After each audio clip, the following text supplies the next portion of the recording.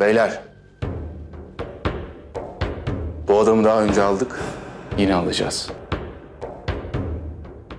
Almadan dönmek yok.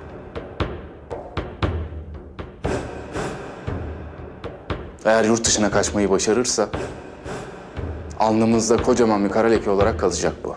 Asla komutanım. Gerekirse hiçbirimiz canlı çıkmayız. Ama o herifi de sağ bırakmayız. Tabii Agah Bey'i de onun elinden almamız lazım.